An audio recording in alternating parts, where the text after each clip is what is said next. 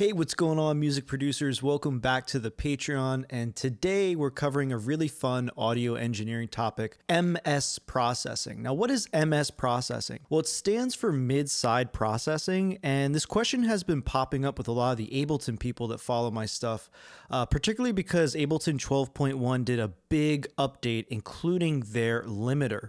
So if you're used to mastering your own music, you know, making it commercially loud, uh, this has a bunch of new features on it. And a lot of people are looking at left, right, and MS. You can see there on the bottom. MS basically stands for mid-side processing. And in this video, we're going to quickly cover how to do it with an EQ, how to do it with a limiter, and we're also going to put some presets down below you can download just to get started on this right away. It's a fantastic technique for buses. So if you have a bunch of guitars or a bunch of harmonized vocals or just on the master bus itself, this is a great technique, so let's check it out. So the way that mid-side works is basically you have a stereo field, you have a stereo recording, and mid-side will interpret that as the things that fall in the middle channel. Think of typical instruments like your kick, your snare, maybe your lead vocals, your bass. Those things are typically in the center, right? and then it will interpret the things that are on si- on the sides, which is the differences between the left and right stereo signal. So you think of the things that you know could be the different timbres of your guitars and the timbre of like the upper frequency of the snare hitting the reverb, all the things that appear on the sides of your headphones, right? So Mid-side is very simple. Think about the things that are in the middle, like the kick, the snare, the mid-range of your guitars all together, anything that's kind of center balanced, your bass, and then think of the things on the sides. And what we typically do, this is new for us on the Patreon, but now I'm doing Fab Filter presets because a lot of people use Fab Filter and have requested them. Um, if you're familiar with Fab Filter, you know that you have a dynamic EQ. So this EQ can move with the music. And what we have here is a very typical kind of setup to sort of enhance your master um, using the typical things that you want to do when you're mid-side processing. So what we're going to do is take a listen.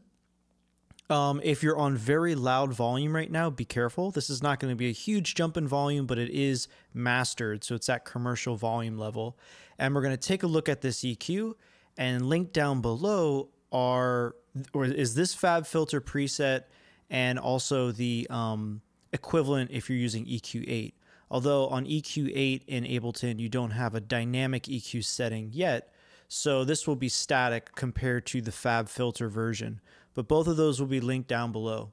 So now let's take a listen and see what we've got. We're going to start with this off and take a listen to what the music sounds like. We'll run through the frequencies, we'll turn this on, and we'll talk about what it does. Okay, so here we go.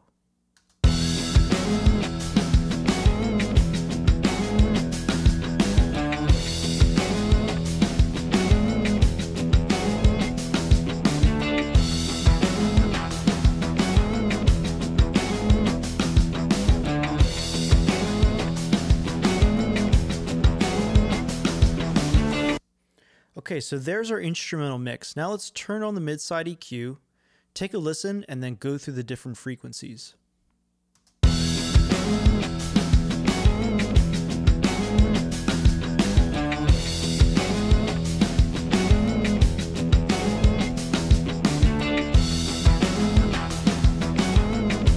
Now you'll probably notice that there is a clarity boost that's typically happening when you do mid-side EQ. And it's for a couple of logical reasons you can see right in front of you. I'm going to play the mix now and isolate these different frequencies. The blue line represents the side channel and the green line represents the middle channel. Let's go through the mid channel first because that's where a big difference is going to you're going to really be able to feel it. If I isolate this frequency here, you could probably hear that that's basically where the kick lives in the overall mix. It's sort of the thump and the punch of that kick drum. By enhancing it and having it dynamically set this way, it's going to let that kick jump out more. So if you listen really closely to the kick, you'll notice that when this is off, it's not hitting as hard. So here it is with the EQ, the mid-side EQ off.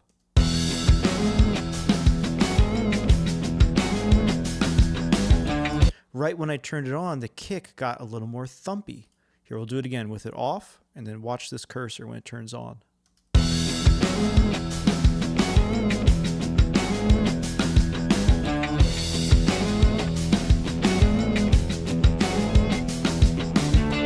Another example is in the mid-range. If I isolate the mid-range here, you can hear what instruments are kind of living in this middle, middle of the frequency and middle channel.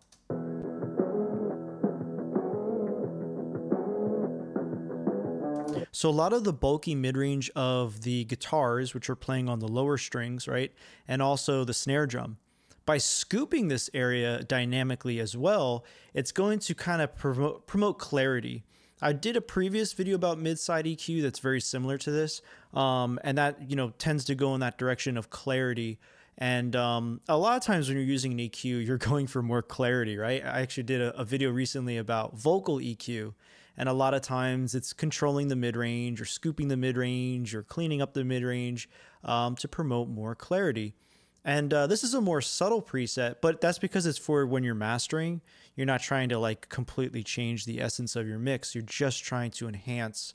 And um, if we look at the blue line now, you can see there's three specific moves. None of these are dynamic, by the way, so this will work fine with the Ableton EQ8 approximate kind of equivalent preset, which is you can download down below. So even if you don't own FabFilter, uh, you can absolutely try this technique for yourself. Now, when we listen to the side channel, you can see I'm doing this cut or this, you know, low shelf for the sides. Okay, what does that mean?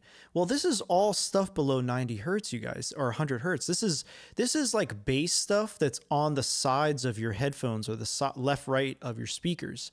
So, if we know that we're going to have our bass guitar and our kick drum in the center of our mix, do we really need all of this bass, all this rumble on the sides?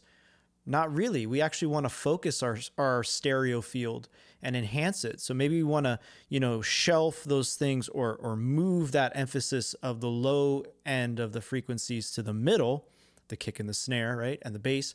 And then on the sides, clean up the bass. That's what we're doing. If I isolate this and we listen,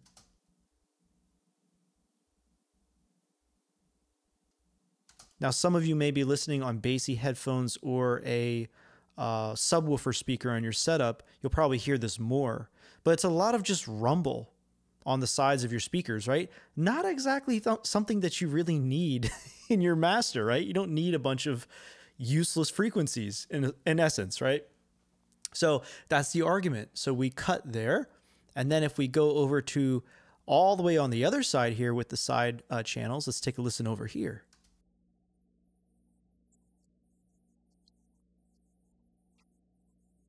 Okay, so more of the upper end of the snare, the upper end of the guitars, the crunchy guitars, right? Uh, the cymbal lives there, right? A lot of stuff is really important that lives in the upper end of the mid range. If this is more the middle slash low end of the mid range, you got the upper mid range with these lines over here. You know, 3000 hertz is a great spot. Things can be a little bit harsh around four to 5000 hertz sometimes, but 3000 hertz is a, is a generally nice spot. Um, it all depends, right? But that's kind of where you're at. You're in the upper mid range up here, and we're just giving it a boost on the sides. That's going to enhance the stereo field of like what you're hearing. Some of you may be watching this video on headphones and you'll hear those differences as well. Now, if we turn this off and we isolate that area,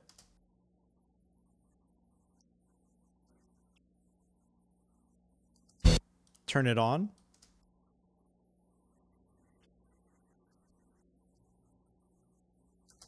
just a simple half a dB boost. So it gets a little brighter on the sides of your headphones.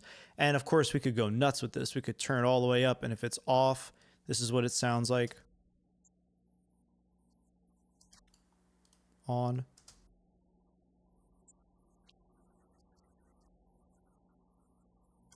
So you're boosting the sound of those upper mid-range frequencies on the side channels. So that really helps and then, of course, we have the just upper frequencies, which is like arguably 10,000 hertz and above. And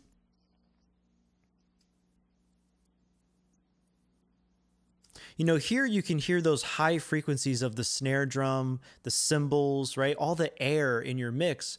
We're enhancing it pretty aggressively on the sides only. So, what this is going to do overall is it's going to clean up the bass and enhance sort of the higher frequencies on the sides of your of your of your stereo field. And uh, yeah, it's great to test this out with headphones. Link down below is a version of this for FabFilter Pro Q3 and for uh, Ableton EQ8. So you can try this out on your mixes. And you could also throw a preset like this onto any other kind of like heavily stereo, um, you know, something that's got a lot of left right information on it. Like maybe you have a bunch of guitars on a guitar bus or, you know, a group track, they call it an Ableton. Or you have, you know, 20, you know, vocal harmonies in a big, you know, and they're all panned in different directions and stuff. And you have a bus of that this can just help clean things up a little bit and enhance the stereo field. And uh, it's just great on your master bus too, because it's going to do something. It's going to clean up the mids, clean up the lows, enhance the side high frequencies.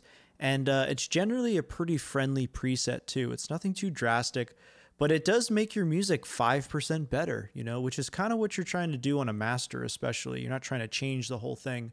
Um, that's for mixing, right? So, uh, really cool little preset. And I know a lot of you guys have been requesting me to do FabFilter content for a little while now. So I'm happy to start making presets and talking about in these videos. If you have any questions at all, you guys are pro members. So you've got the DM access, take advantage of it. Ask questions. If you want me to do content about FabFilter Pro C2 or the reverb with FabFilter, I'd be happy to do it and even make presets for you guys if you feel like that helps you. So thank you guys so much for your support. It means so much to me. Uh, really excited to keep making content for you guys. And hopefully, you found this video informative and useful. Check out the downloads down below. And as always, have fun making music.